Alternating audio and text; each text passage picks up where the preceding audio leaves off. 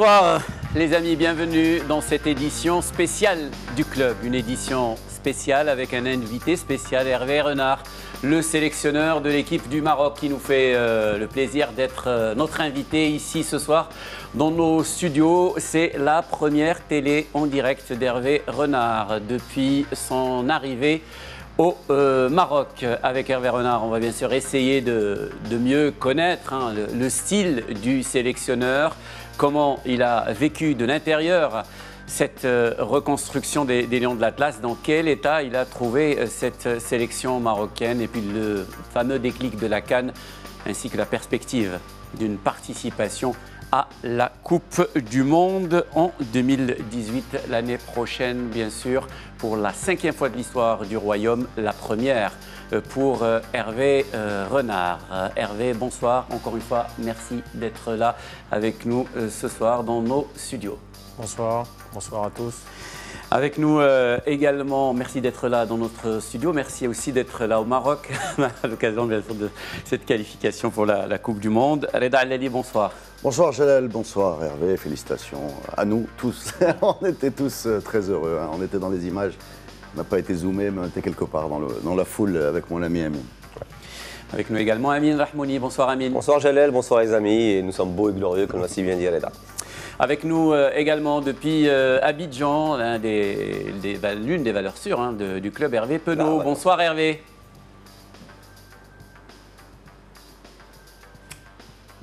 Hervé. Bonsoir les amis, bonsoir Jalal, bonsoir Reda, bonsoir Amine, et surtout, je suis désolé les gars, mais bonsoir Hervé Renard. Merci d'avoir accepté cette invitation. C'est un moment exceptionnel qu'on va vivre dans l'émission. Le sélectionneur de l'équipe du Maroc qui ira en Coupe du Monde 20 ans après est avec nous. C'est un moment énorme. Profitez-en, on va tous en profiter d'ailleurs. Hervé, merci encore d'être venu. Voilà, donc euh, merci à, à- Hervé Penaud. C'est l'émission des, Hervé hein, ce, soir. On va bien sûr euh, revenir hein, sur tous les, aspects que, j'ai évoqués, mais avant, euh, vous aviez une idée, les enfants. Ouais, un petit Un hommage. petit hommage à- au personnage. Ah, la, la chemise blanche, c'était le jour. Excusez-moi, mais. Ah, il, faut, ça. il faut ouvrir, il faut ouvrir. Il faut, Il faut ouvrir. Voilà, il y, a- il y a quelque chose là. Bon, Première bravo. Voilà. Bon, bon. Il faut, faut excu- faut- faut excuser le physique, on n'a pas aussi Bah, exactement. Parce que, en fait, finalement, on, fera- finalement, on va faire notre mieux. finalement, les amis, c'est la Les chemise blanche. Ouais. C'est facile. Moi aussi, même si je, je risque Ouais, non, non. un petit blâme euh, de la part de l'administration de la, de la télé, je l'en- je l'en- je l'enlève. Mais maintenant qu'on a sorti les chemises blanches, il faut avoir le corps. Il faut rentrer les ventres. Voilà, il faut rentrer les ventres. faut rentrer le ventre. Alors, voilà. non, non, c'est bon. Écoute, J'ai la silhouette de Ronaldo. Aujourd'hui. Je suis mieux en forme que lui. Donc, Hervé, euh, euh, ma première question, elle concerne bien sûr votre décision de, de venir euh, au, au Maroc. Euh, c'est, euh, ça s'est fait avec euh, un agent marocain, Ka- Ka- Karim Balk. Est-ce que vous n'avez pas eu euh, un peu peur de prendre une sélection euh, qui ne tournait pas très bien, qui avait beaucoup de problèmes, qui n'avait pas de résultats Pas de résultats et surtout beaucoup, beaucoup de, de problèmes. C'était aussi un, un challenge. J'étais dans une période euh, inactive puisque je suis parti de Lille en, en octobre 2014.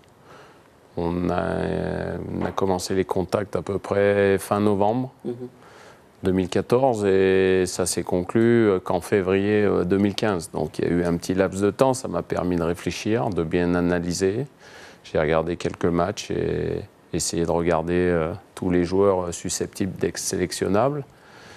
J'ai pris pas mal d'avis autour de moi et j'en suis arrivé à la conclusion que ça pouvait être un challenge intéressant parce qu'il y avait un projet derrière. Mais justement, alors, est-ce qu'on peut commencer par, euh, décrire un peu dans quel, état, euh, bah, dans quel état vous avez trouvé la sélection et comment vous avez fait pour la remettre sur pied? Déjà au point de vue moral, hein, on parlera de technique après, mais, mais qu'est-ce qui s'est passé euh, pour regonfler des joueurs qui étaient en pleine période de doute, y compris dans leur investissement vis-à-vis du projet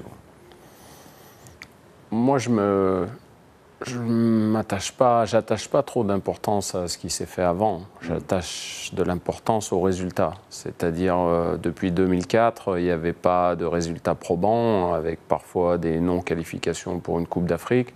Les Coupes du Monde, n'en parlons pas depuis 1998. Mais euh, je me rappelle mon premier speech euh, devant les joueurs, je leur ai dit, euh, OK, il y a eu beaucoup d'entraîneurs qui ont été en charge de cette équipe depuis de nombreuses années, depuis Qui s'y sont cassés 98. les dents. Voilà. Mais je pense que ce n'est pas eux seuls les responsables. Je pense que vous avez aussi une part de responsabilité. Maintenant, moi, j'ai une ligne de conduite. Elle est parfois pas facile à suivre. Elle est exigeante. Il va falloir euh, se mettre au travail euh, avec euh, Patrice Baumel, mon adjoint, qui est venu avec moi euh, parce qu'on n'a pas l'habitude de trop plaisanter. C'est notre métier. Vous jouez aussi avec nos carrières, j'ai pas peur de le dire, quand je prends en charge une équipe, parce que nous, on est des sélectionneurs et quand on est à regarder les matchs euh, quand les joueurs sont dans leur club, euh, on est là et on, a, on piaffe d'impatience pour que les dates euh, internationales arrivent. Donc c'est notre job et, et on fonctionne avec des challenges, c'est-à-dire Coupe d'Afrique ou Coupe du Monde. Il n'y a rien d'autre. Ouais. Hein, les matchs amicaux, euh, bon, c'est bien gentil, c'est bien beau, mais même si on, aff- on affronte la plus prestigieuse des équipes en- dans un match amical, ça n'a rien à voir avec une compétition. Mais Bah, justement, vous, vous débarquez euh, à la veille d'une double confrontation contre le Cap Vert qui était à l'époque considéré comme un gros cador africain. Donc vous débarquez euh, déjà avec une grosse difficulté. Est-ce que vous n'avez pas eu d'appréhension à ce niveau-là Justement, vous débarquez dans une équipe en crise que vous connaissez, enfin, que vous connaissez seulement après, seulement de ce que vous en avez vu, et vous débarquez, euh, sachant que vous devez chercher une qualification contre un gros cador africain de l'époque. Ça vous a pas fait peur ça? Sachant comme, comme vous dites que voilà, vous, vous avez une carrière à, à mener, enfin, c'est pas évident quoi. Vous savez, on je vais vous faire une confidence, on m'a donné le choix de savoir si je voulais débuter contre le Cap Vert ou si je vous préférais attendre la double Ça confrontation. été- voilà, ça aurait été plus facile. Non, moi, je ne suis pas comme ça. Moi, je, j'assume toujours mes responsabilités. S'il y avait eu un échec euh, ce samedi, j'aurais assumé mes responsabilités. Je suis celui euh, qui est en charge. À partir du moment où j'estime qu'on me donne tous les moyens pour pouvoir le réussir, après, j'assume tout le reste. Euh, à, moi de, à moi de faire en sorte que, que ça se passe le mieux possible. Et puis, le jour où ça se passe un peu moins bien, ben, il, faut, il faut accepter la règle, c'est comme ça. Mais il y y y a une théorie, il y a une théorie qui, qui dit, enfin on entend souvent dire que par rapport au travail d'entraîneur de club, qui a ses joueurs beaucoup plus de temps disponible sous la main, le sélectionneur étant limité dans le volume de travail qu'il peut leur faire faire, euh, n'est pas amené à, à révolutionner, euh, enfin il y a peu de marge de manœuvre. En fait, sur cette équipe-là, on a vu le contraire. On a vu euh, une mise en place qui est devenue de plus en plus rigoureuse et quelque chose qui a très, qui a très vite ressemblé à un bloc compact, difficile à bouger. Comment vous avez réussi à faire ça dans ces petites dates FIFA euh, qui, sont, euh, très courtes pour travailler quoi? Bah déjà, c'est une certaine expérience. Comme je vous l'ai dit euh, précédemment, j'ai la chance d'avoir un adjoint exceptionnel avec qui je travaille bientôt depuis 10 ans en Afrique. Et croyez-moi, euh, quand je dis exceptionnel, c'est, je pèse mes mots, c'est parce qu'il fait un travail euh, énorme. Euh, j'ai eu la chance aussi de tomber sur des gens comme Mustapha Hadji dans le groupe, tout ça, qui ont apporté leur expérience, leur connaissance de- des petites erreurs à ne pas commettre. Donc chacun a semblé apporter quelque chose. Et puis après, c'est une habitude. C'est une habitude. Et, et quand euh, je prends un groupe, euh, bah, c'est moi qui décide. Si, s'il y a des gens qui veulent interférer, ça ne peut pas se passer avec moi. Donc je décide et après, il faut que tout le monde aille dans le droit chemin. Je ne dis pas que tout le monde y va, parce qu'il y en a qui, en cours de route, euh, quittent le navire. Je, pense qu'ils- je pense qu'ils peuvent s'en prendre qu'à eux-mêmes. Bien sûr, ils diront toujours oui, ce coach, il n'est pas bien, il ne me fait pas confiance, tout ça. Mais, mais j'essaye d'être le plus loyal avec chacun d'entre eux. Euh, Hervé, euh, pour revenir au, diagnostic, euh, l'état dans lequel vous avez trouvé cette équipe, vous avez beaucoup d'expérience en, Afrique, mais je pense que le, cas Lyon de l'Atlas est un peu différent parce que c'est une équipe qui a beaucoup de moyens, moyens, une, organisation, une, gestion et qui, ce qui se fait un petit peu de mieux sur le, continent, des joueurs talentueux, mais énormément de- de problèmes et installés dans une dynamique négative depuis plusieurs années. Quel a été votre, votre premier chantier? Mais quand j'arrive en Côte d'Ivoire, euh, ça fait 23 ans que la Côte d'Ivoire n'a pas gagné une Coupe d'Afrique de, une Coupe d'Afrique des Nations. Avec une grosse génération en plus. Avec de grosses générations, pas qu'une grosse génération, avec euh, des générations, on va dire, euh, successives, mais peut-être deux générations en une, puisque c'est étalé sur 10 ans. Il y a un renouvellement, mais, mais la Côte d'Ivoire n'a pas gagné. Donc moi, j'ai- j'aime ces ces challenges. Si vous arrivez quelque part euh, que l'équipe a déjà été deux, trois fois championne d'Afrique les années précédentes, sincèrement, ça manque un peu de piment. J'aime bien quand c'est un peu difficile.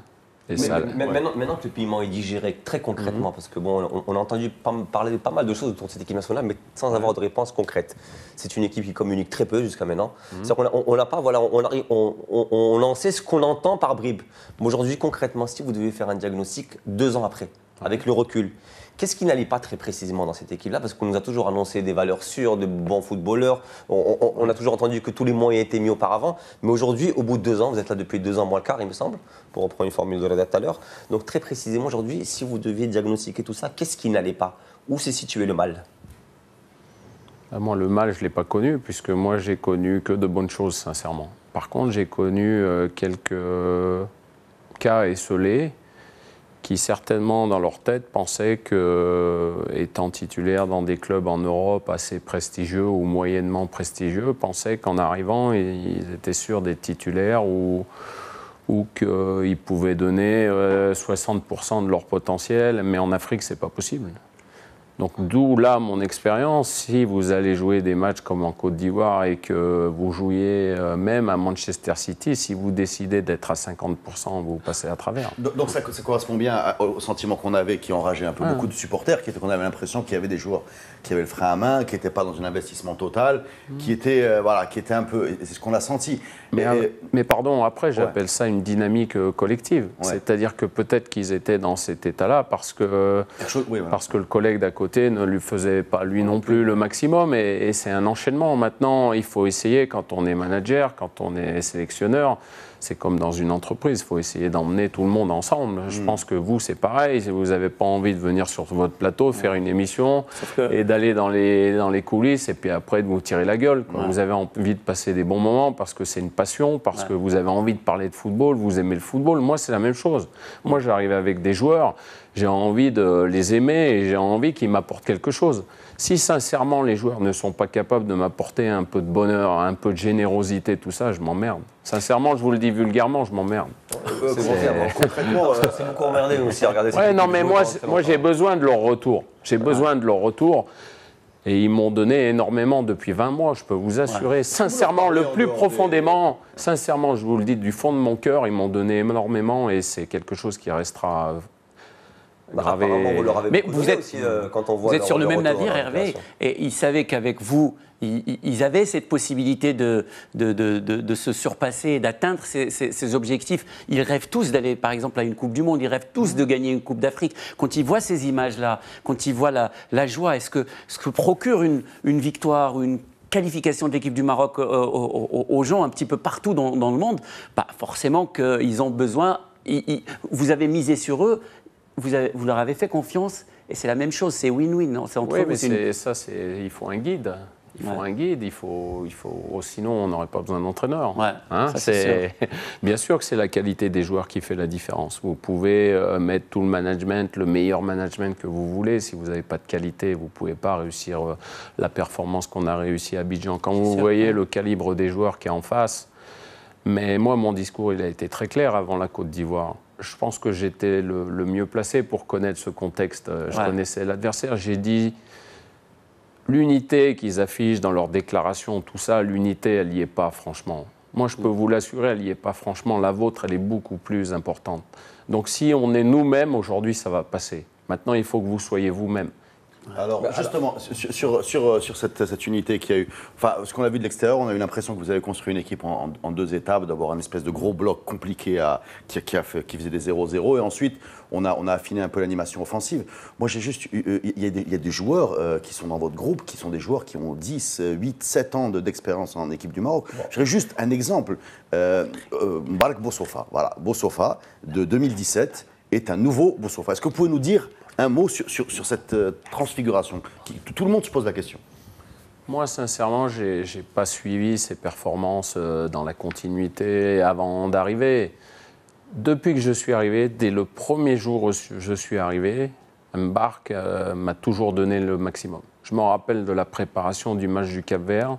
On a fait une mise en place, on est le lundi, on commence le mardi, la mise en place mercredi. Le match est samedi. Vous imaginez, c'est quatre jours. Euh, même si je peux être un, sorcier, comme on dit, ou je sais pas, ça c'est du blabla. Non, mais ça, c'est du blabla. En quatre jours, bien sûr vous avez un, di- un discours rassembleur, tout ça, mais il faut aussi que le joueur vienne peut-être pour entendre quelque chose et puis se dise, moi j'ai envie, là c'est le discours qui me plaît, j'ai envie d'aller dans cette direction. Et depuis le premier jour jusqu'à ce match de la Côte d'Ivoire, jamais Marc m'a déçu dans son comportement. Jamais. Ni dans son rendement. hein, Jamais. à ce non, a mais son, rendement, on peut louper un match. Ça Ouais, peut arriver. sûr. Ça peut arriver, non, bien mais, dans son comportement, c'est-à-dire que c'est un joueur qui arrive de, de Abu Dhabi. À chaque fois, il, un jour, il a voulu faire une, un petit, une petite escale. Il devait aller voir un- pour un problème d'impôt aux Pays-Bas. Il m'a téléphoné et tout. Donc ça s'est toujours passé dans une transparence totale. Moi, je travaille comme ça et, et il me l'a rendu parce qu'aujourd'hui, c'était mon vice-capitaine et il a été, j'ai pas peur de le dire, c'est le mot, c'est il a été exceptionnel. Justement, quand, quand vous arrivez, vous faites vos diagnostics, et vous nous en parlez tout à l'heure, vous avez certains joueurs qui ne sont pas à 100%, qui lèvent un peu le pied. Donc, il, il fallait casser ce- ce- ce- enfin, cette hégémonie, on va dire, qui est autour de cette équipe nationale. Enfin, il y a des têtes qui ont- il y a des têtes qui ont été C'est coupées ça. aussi. Est-ce que ça est-ce que ça n'a pas été compliqué, justement, de venir dire, bon, voilà, ou vous jouez, ou vous, ou vous ne venez plus. Vous Enfin, dégagez. Bon, vous dégagez, je n'osais pas, pas le dire, mais bon, voilà. Ou, ou vous jouez, ça vous pas dégagez. fait en un jour. Il y en C'est ça, a qui parce que- ont, il y en a qui ont continué Parce à que, venir. parce que le- le- le- on, on- on avait fait, voilà, on avait fait l'exercice avec, avec, euh, avec Reda sur, sur l'équipe de votre prédécesseur qui joue la Guinée équatoriale. Et, et par rapport à celle qui joue la finale, entre guillemets, contre, le- contre la Côte d'Ivoire, il n'en reste que 6. C'est-à-dire qu'à un certain moment, vous êtes arrivé, vous avez fait le ménage. Ouais. Et sachant que vous avez fait le ménage dans une bergerie où c'est des, où c'est des clans qu'on connaît plus ou moins relativement soudés. Donc est-ce que ça n'avait pas été compliqué pour vous de venir mettre de côté des gens qui étaient là vais- depuis relativement longtemps sans qu'il y ait de la casse à côté? Excusez-moi de vous. Je vais vous prendre un exemple Ouais. avant la Coupe d'Afrique. Moi, je fais le diagnostic que dans cette équipe, celui qui joue latéral gauche, il ne me convient pas. J'ai tort ou j'ai raison, ça ne me convient pas. Je vais chercher, je vais chercher un jeune qui sort soi-disant de l'académie. Moi, je m'en, sincèrement, Mendil. Qui viennent de l'académie, qui viennent De la de rue. Kenitra, qui viennent de Tanger, qui viennent de. euh, De partout. pour moi, peu importe. Peu importe. L'important, c'est qu'ils rentrent dans les critères de ce que je recherche. Maintenant, ce n'était pas la perfection. Mais c'était, à mon avis, celui qui remplissait le mieux les critères qui, qui me vont le plus. C'est-à-dire des qualités de vitesse, d'explosivité, capable de faire euh, des allers-retours sans arrêt, et surtout d'être capable de lutter avec les attaquants qui sont en Afrique. Parce que quand vous avez Sadio Mané, quand vous avez Salah en face de vous, quand vous avez même Zaha, que peut-être les gens n'ont pas trouvé bon, mais je peux vous dire que quand il accélère, s'il n'a pas Dira en face de lui, Ah ouais. c'est pas la même chose. Hein. C'est Ouais. pas la même chose. Quand vous avez Gervinho en face de vous, il faut, il faut des gens qui aient un certain profil et qui, et qui remplissent ces critères. Donc voilà. Donc je lui fais confiance. Ça plaît pas, mais j'ai fait ça partout. J'ai lancé des jeunes parce que j'estime qu'à un moment donné, j'ai pas ce qu'il faut. Et même s'il y a un joueur qui joue à- en Europe dans un club prestigieux, mais que je, mais dont je pense que les critères ne vont pas avec le système que j'ai envie de mettre, je le mettrai pas. Ça fera du bruit, ça va résonner Au- fort. Au, au- au- au risque d'avoir de, de poser un problème au sein même du groupe, sachant que c'est des gens qui étaient relativement soudés entre eux. Oui, mais, mais moi, je, je fonctionne euh, logiquement. C'est ma conception du football. Voilà, ma conception du football, elle est avec ses joueurs. Chaque entraîneur a une conception, moi j'ai la mienne. Après, il faut s'y tenir. En tout cas, euh, visiblement, le, le- le message est, est passé. euh, les joueurs sont sous le charme. On va écouter euh, le, le capitaine Mehdi Benatia. Il était chez nos confrères de SFR Sport et il évoque ce que vous avez apporté à, à ce groupe et à cette sélection. Ah, et primordial. Le, le coach, il est, est arrivé, il a fait un, il a fait un boulot incroyable. Euh, voilà, moi je me rappelle quand, euh, quand il est venu au départ, je lui ai dit, je suis capable de, de gagner la canne avec la Zambie, euh, sans manquer de respect à la Zambie évidemment, mais c'est pas la Côte d'Ivoire, c'est pas le Sénégal, c'est pas. Je dis, je pense qu'avec nous, vous allez faire des, des grandes choses. Et honnêtement, quand on voit sa façon de travailler, comment, comment il met du cœur dans tout ce qu'il fait, la passion qu'il a et les mots qu'il emploie à chaque fois, à chaque causerie, voilà, chaque joueur a envie de se transcender pour lui et, on le voit sur le terrain. Euh, J'ai des images encore en tête où tu vois un Ivoirien qui est sur le ballon, tu as trois Marocains qui lui sautent dessus. Et ça, c'est une mentalité qu'on n'avait pas, qu'on avait perdue au fil des années. Et, Hervé Renard, il a su bah nous redonner cette, euh, cette grinta qui nous a tant manqué, parce que si t'as pas ça en Afrique, bah, de toute façon partout, mais surtout en Afrique, tu fais, tu fais rien du tout. Donc, euh, donc voilà, c'est un grand coach, c'est surtout un grand homme, comme je dis souvent, et euh, il mérite tout le succès qu'il a, qu'il a aujourd'hui. Donc, euh, donc c'est vraiment, il a fait un grand travail. Après, après voilà, on a un groupe, comme je dis, on a, on a un groupe magnifique. Je pense euh, ceux qui n'ont pas été convoqués, ceux qui, ceux qui jouent pas beaucoup aussi, ceux qui sont, ceux qui étaient, en tribune aussi en Côte d'Ivoire. Mais tout le monde est content d'être là, tout le monde se bat pour la même chose. Et quand c'est comme ça, en général, tu es obligé d'avoir des résultats. Euh, Reda avait parlé tout à l'heure de la métamorphose euh, de Mbarak Boussoufa. Moi, j'aimerais bien aussi parler de, de, de- de celle de Mehdi Benatia, qu'on croyait perdu quand même pour la, sélection. Mais au-delà de sa décision de mettre entre parenthèses euh, euh, sa, carrière euh, internationale, euh, on, sent chez lui, et il le dit lui-même, une, une grinta en tout cas nouvelle. Euh, a- J'ai eu même comme l'impression que c'était c'est Hervé Renard qui parlait, c'était pas, pas Mehdi Benatia. Oui, moi, moi j'avais besoin de lui. J'avais besoin de lui parce qu'on ne peut pas euh, jouer à la Roma, au Bayern de Munich, euh, à la Juventus de Turin si on n'a pas certaines qualités. On c'est peut me dire oui, mais il fait que 20 matchs dans la saison, peu importe.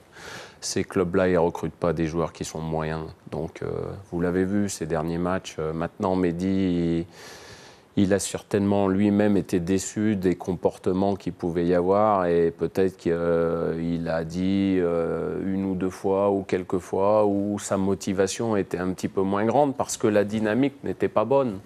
Voilà, c'est- on ne peut pas prendre cas par cas, euh, oui, mais c'est avec celui-ci, c'était comme ça. Non, je pense que c'est... Le football, c'est un état d'esprit, c'est- c'est une question de, de collectif. Je, je comprends, je, moi je ne vois pas le football autrement, c'est-à-dire qu'il n'y a qu'un mot pour moi, c'est l'esprit collectif. Après, bien sûr, quand vous avez Messi, l'esprit collectif, vous le bâtissez autour de Messi. Quand vous avez un. Ziyech, bien sûr qu'il a des caractéristiques différentes et vous êtes obligé de mettre un, esprit, un esprit collectif, mais il faut que celui-ci aussi rentre dans cet esprit collectif. C'est c'est ça le plus important. Alors, confidence pour confidence de Benatia, dans une déclaration, il dit textuellement, enfin, plus ou moins textuellement, dans le discours qu'il nous a tenu, qui nous tient en général, mais surtout qui nous a tenu euh, en Côte d'Ivoire, on ne pouvait que rentrer. La et- causerie. Oui, la causerie, c'est ça, le- le- le- la, la causerie d'avant-match, effectivement. On ne pouvait que rentrer. Je suis là et pour nous vous corriger. tuer. Exactement, et nous tuer pour ça. Est-ce qu'on peut savoir ce que vous leur avez dit très précisément pour ce match en Côte d'Ivoire? Les petits secrets du vestiaire, allez. Bah, je leur ai dit ce que je vous ai dit juste avant. Je leur ai dit que je ne croyais pas à l'unité de cette équipe de Côte d'Ivoire et que j'étais bien placé pour le dire. Que je, en veulent, les Ivoiriens. je- non mais que c'est pas non mais que que Gervinho, Gervinho fait une déclaration, il dit on aurait bien aimé à la fin du match euh, le le Maroc a un grand coach, donc à la personne de M. Renard, et on aurait bien aimé qu'il soit encore avec nous. Même si euh, Villemotte s'est dit qu'il n'a jamais vu un coach marquer des buts. Oui, mais bon, il peut dire ce qu'il veut, Villemot. Non, Quoi Ouais. Mais avec ouais. Gervais, c'était pareil. Quand. Gervinho, vous prenez cet exemple, des fois, on laisse des passes droits aux joueurs quand ils viennent en Afrique. Ils n'ont pas les mêmes passes droits en Europe. Et le joueur, vous les laissez un centimètre dans la faille pour s'infiltrer, le joueur, il s'infiltre. Il y en a très peu qui ne s'infiltrent pas dans la faille. D'accord. Donc, euh, si vous ne si vous mettez pas une barrière dans la, dans la faille, c'est cuit. C'est cuit. Le joueur, il y en a un qui va, et le deuxième y va, le troisième y va. Et vous ne les retenez pas parce qu'il y en a très peu qui sont capables de s'autogérer, de se dire ah, bah, mais ils regardent, voilà. Ils, ils tâtent le terrain, ils testent, parfois ils testent je vais faire ça, on va voir comment il va enfants, en fait. répondre. Mais quand vous répondez toujours de la même façon, pratiquement avec tout le monde, ou presque tout le monde, bien sûr, je ne vais pas avoir le même langage que j'ai avec Yaya Touré, comme avec le jeune qui va venir en sélection, comme Eric Bailly quand il est arrivé avec la sélection alors qu'il sortait de l'Espagnol de Barcelone. Aujourd'hui, bien sûr, il joue à Manchester United, c'est autre chose. Mais quand il est arrivé, il avait fait huit matchs avec l'Espagnol de Barcelone. Donc c'est pas le même joueur. Euh, Aujourd'hui, c'est plus le même joueur. Mais quand il est arrivé, c'est sûr que je vais pas lui parler de la même façon qu'à Yaya Touré. Mais je vais le respecter de la même façon. Et, et Yaya a souvent tenu le même discours que Mehdi vient de tenir. Et, c'est ce qui me, sincèrement, dans mon métier, moi, c'est ce qui me, c'est ce qui me remplit de joie parce que j'ai l'impression que j'ai transmis quelque chose et que ma franchise, elle a été perçue de la même façon. Les amis, restez avec nous. On va se retrouver dans un très très court instant, toujours avec euh, notre invité euh, Hervé Renard. On va aller aussi rejoindre un autre Hervé à Abidjan. Il s'impatiente, mais ce sera tout à l'heure, juste après la pause. À tout de suite.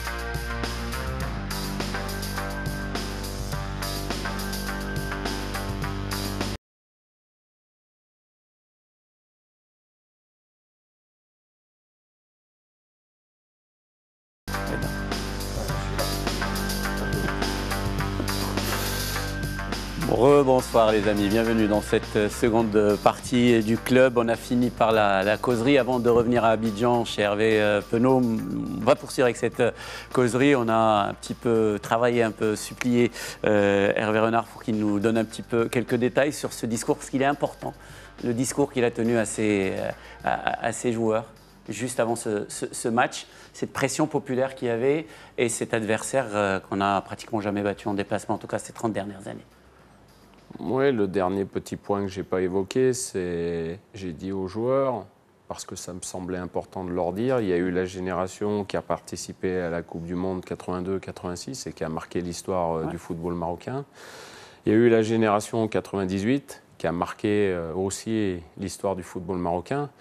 Aujourd'hui, on est en 2018, vous êtes capable d'écrire votre histoire.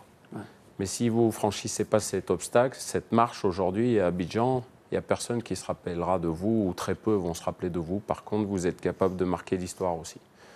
Voilà, est-ce que ça leur a fait tilt Peut-être, mais ils avaient peut-être envie de marquer de leur empreinte euh, le football marocain, et tant mieux pour Et nous tous. Et c'est ce qu'ils ont réussi euh, à faire. Euh, je voudrais revenir donc euh, à, à Abidjan et à, à l'ambiance qu'il y avait à Abidjan et surtout à, à notre consultant Hervé Penaud. Hervé qui a une petite question à Hervé Renard. Hervé, c'est à toi.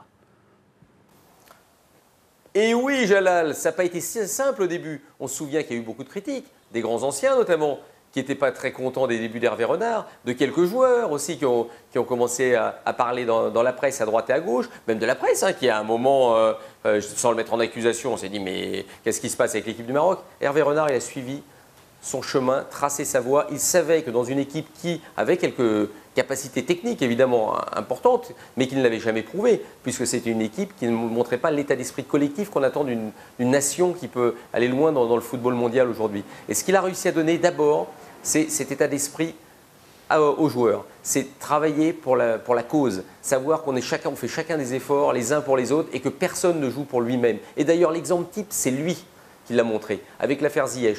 À un moment, c'était vraiment plus que tendu. Le président de la fédération marocaine a été immense en jouant le go-between entre les deux et c'était parfait.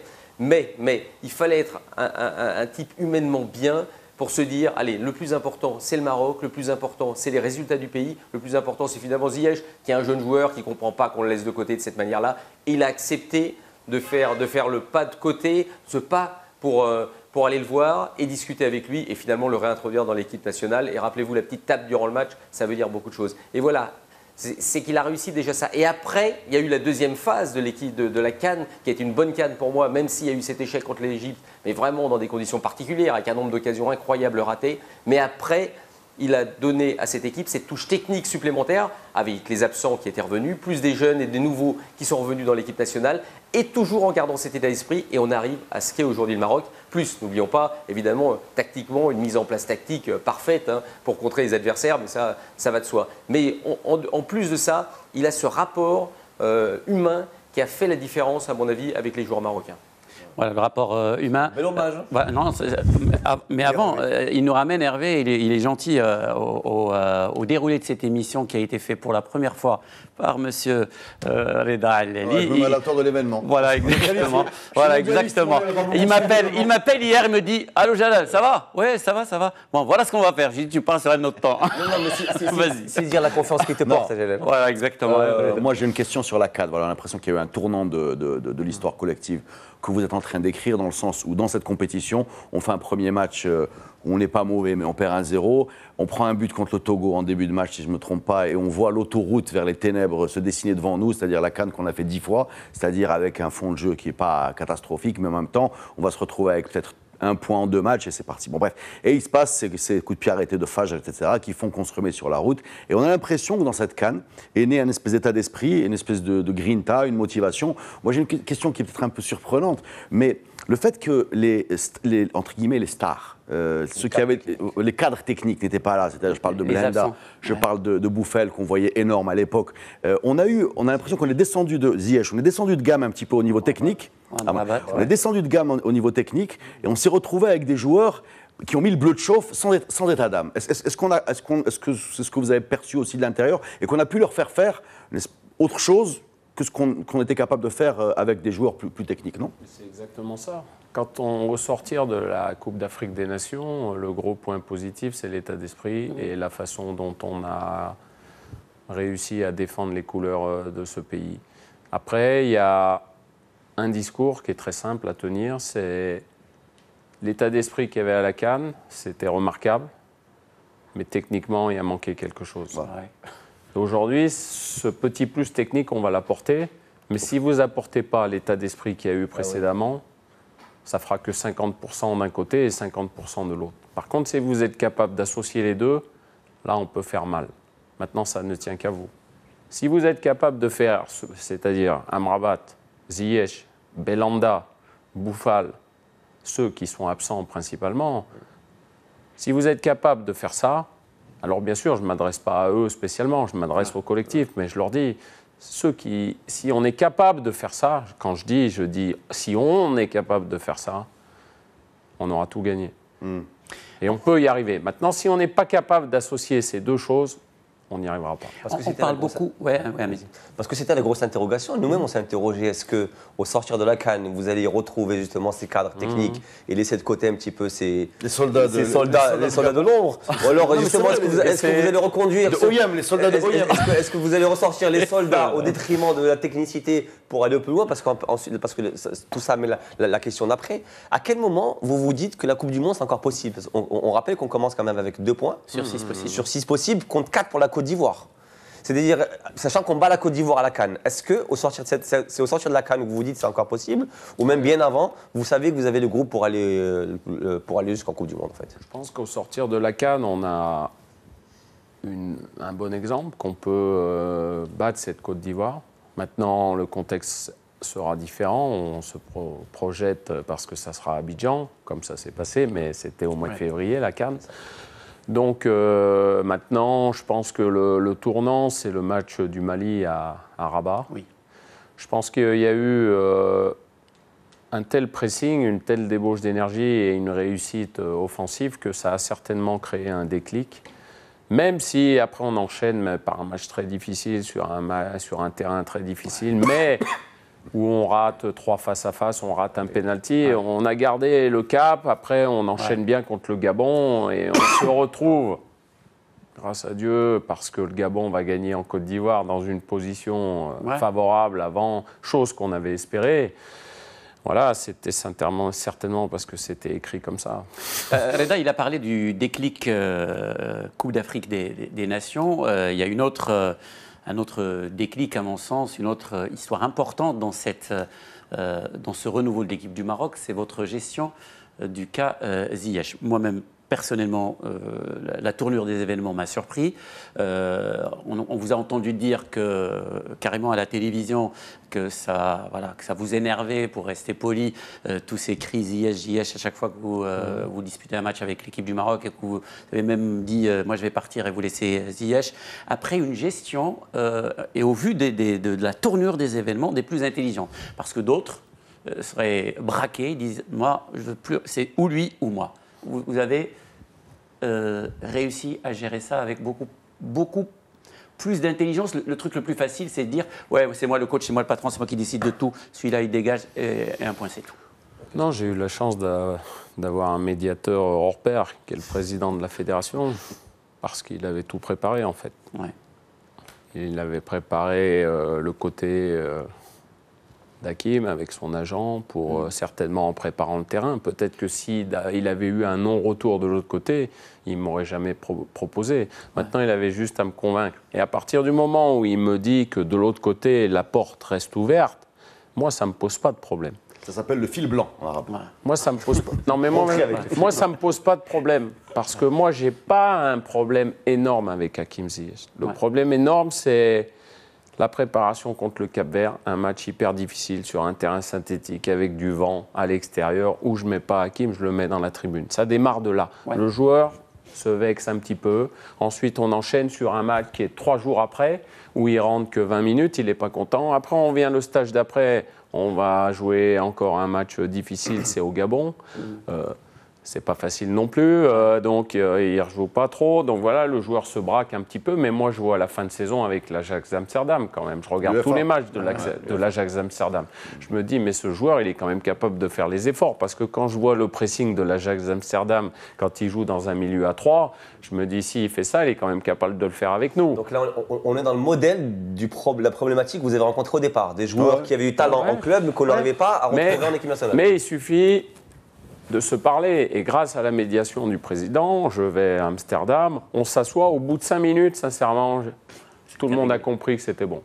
Sincèrement. Donc le travail avait été fait merveilleusement bien, comme vous venez de le dire. et, et donc, ça y est, ça roule. Maintenant, ma seule équation à résoudre, c'est d'associer dans ma tête, dans ma tête, Boussoufa, Belanda et Ziyech. Ouais. Voilà. Et je me dis, Younes Belanda, depuis qu'il est avec le Maroc derrière l'attaquant ou sur un côté, il n'est pas bon, il n'est pas performant. Est-ce que c'est du, est-ce que c'est de sa faute, pas de sa faute, peu importe, c'est pas le problème. Il faut trouver quelque chose. J'appelle Younes, je lui dis, il faut que tu joues un petit peu plus bas. Il faut que tu sois plus un Comme à ses débuts, d'ailleurs, Voilà. avec l'équipe nationale. Il me dit, moi, il n'y a aucun problème. J'appelle Hakim, je lui dis, tu sais, ça serait bien pour l'équilibre de l'équipe que tu te mettes sur un côté. Par contre, avec le ballon, tu es libre. Voilà, mais tu te replaces sur un... Aucun problème. Ça roule, on joue le Gabon, ça se passe euh, de la façon dont ça... Le Mali, Mali. À, à- à Rabat, ça se passe de la façon dont ça se passe. Et puis après, ça s'enchaîne. Après, on enchaîne euh, des buts, on réussit à être solide malgré des joueurs qui ont une touche technique un peu plus importante.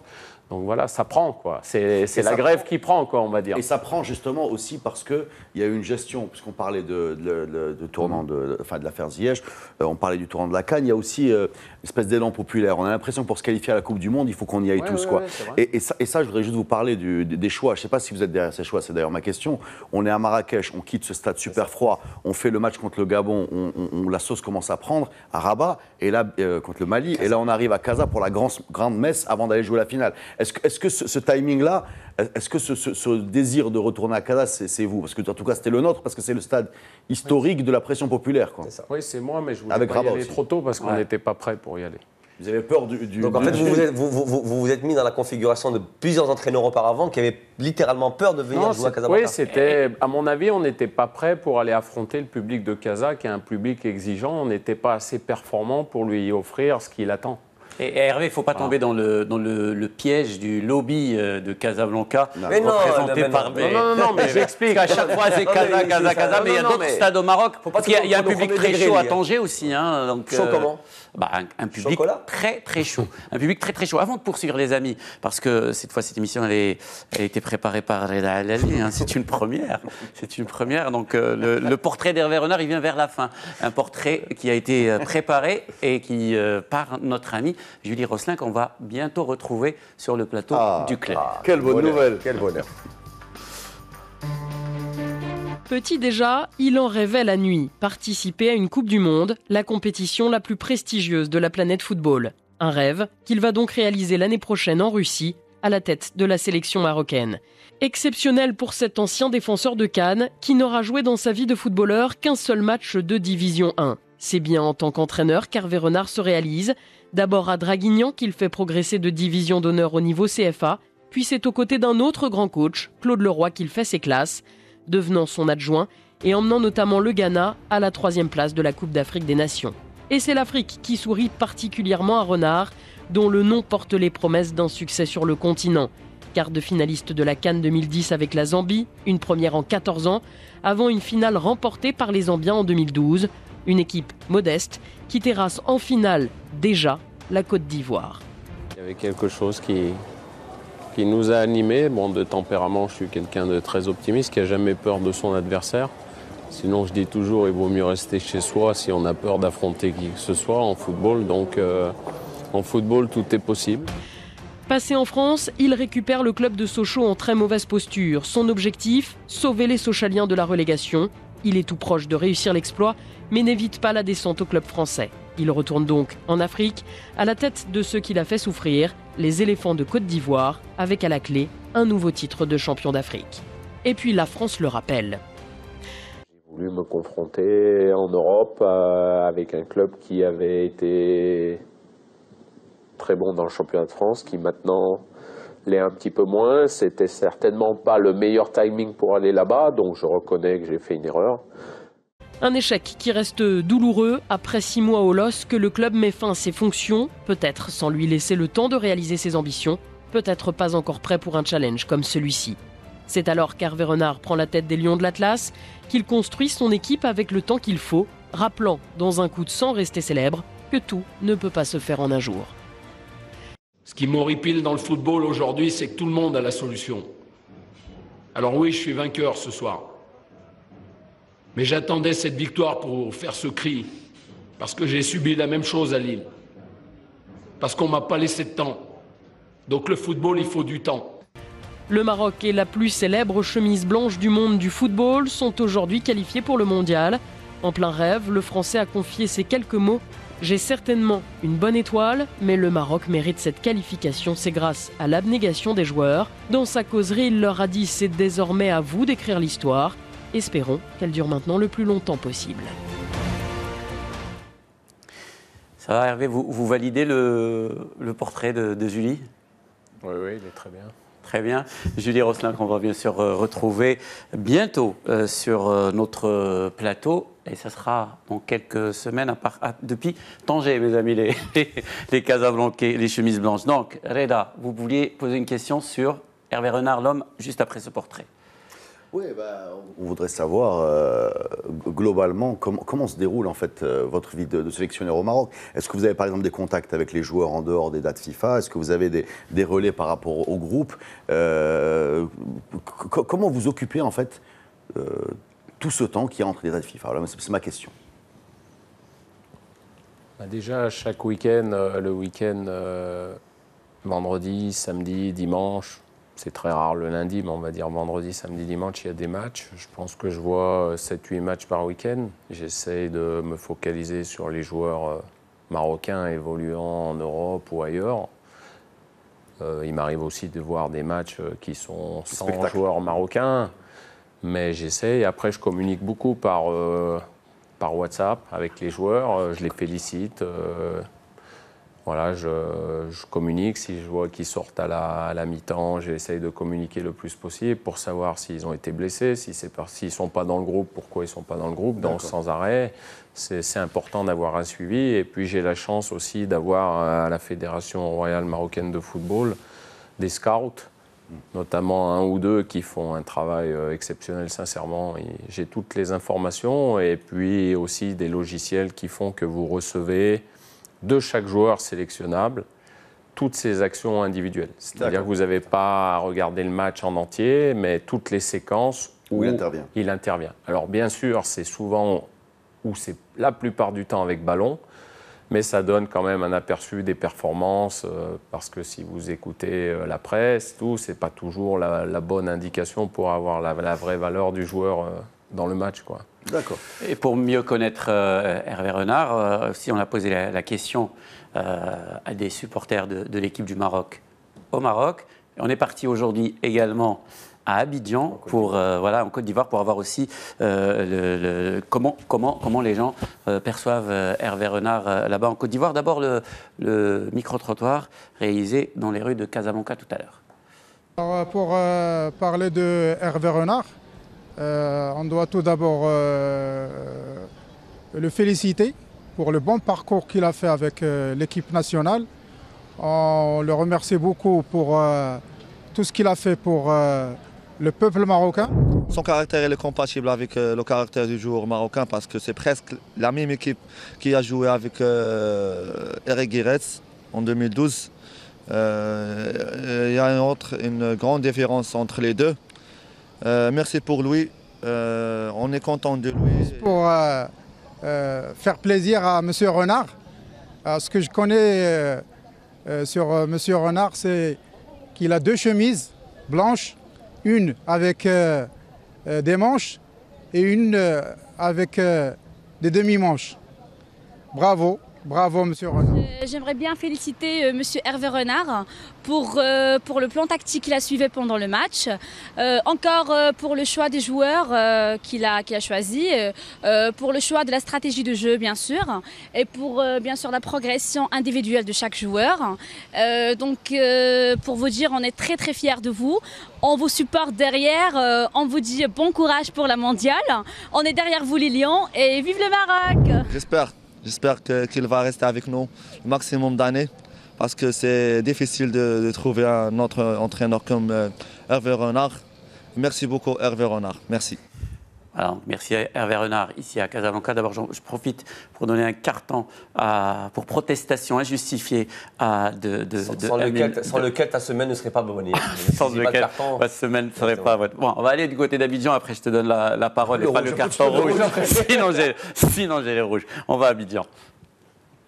Il a le talent, il a le voilà, il a un très très bon management, un très bon manager. En tout cas en Afrique, il n'a pas eu la réussite qu'il fallait dans les clubs euh, européens, tout et tout. Mais franchement, en matière de sélection, il n'y a pas mieux en Afrique sur le sur le continent en ce moment. En Afrique, il essaie de donner une autre façon de d'entraîner. Toutefois que ces équipes sont en demi-finale ou bien à la phase finale, en tout cas, ils remportent souvent euh, la partie. On a eu le cas de Zambie quand il était César, en Maroc aussi. Donc, c'est- il fait du travail remarquable. Moi, je ne vois pas ce qu'il y a de particulier. Hervé Renard, bon, euh, c'est vrai, il vient, tout est préparé. Et puis bon, c'est pas magie. Hervé Renard, bon, est-ce qu'il est formateur Est-ce qu'il est. Bon, voilà, c'est un peu de chance, à lui réussir tout. Avec l'équipe marocaine, je pense qu'il ira loin. Il ira loin parce que son, son- son système de jeu, c'est fonction de l'équipe qui est devant lui. Et il, a tout, il émet toujours des réserves. Il fait un bon coaching. Il fait vraiment un bon coaching. En tout cas, il laisse personne euh, indifférent, euh, euh, Hervé. La parole à M. Amin Rahmoudi. Non, mais t'es sûr? Oui. Non, mais franchement. Oui. Non, par rapport à votre week-end, justement, vous parlez de, de- des matchs que vous regardiez. Par un point par rapport à la Botola, est-ce que vous la suivez hein, Parce que vous êtes sélectionneur de l'équipe nationale du Maroc dans sa globalité.